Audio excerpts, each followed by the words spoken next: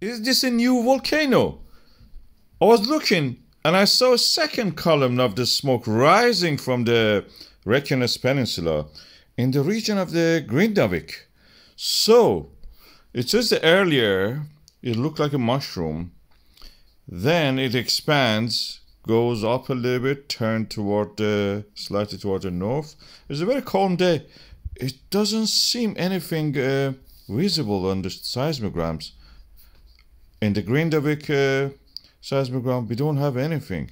Also, nothing unusual on this uh, uh, earthquake chart. So I wonder, is this a Grindavik volcano? Is this a, a power plant?